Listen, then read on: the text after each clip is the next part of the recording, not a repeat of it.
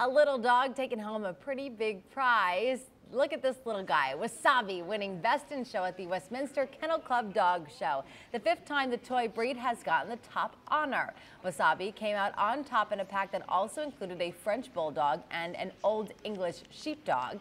His handler says he'll be celebrating with champagne. Wasabi basking in the glory with a nice piece of filet mignon. Sounds like a win to me.